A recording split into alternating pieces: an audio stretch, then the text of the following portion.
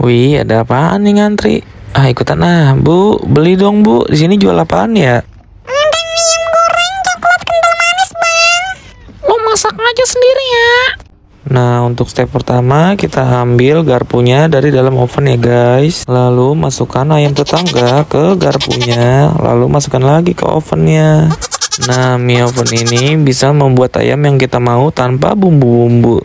Caranya cukup dipencet-pencet aja guys sesuai kemauan. Lalu tunggu deh sekitar 3 jam. Oh, udah matang ya, Bu. Oke, oke, aku ambil, Bu.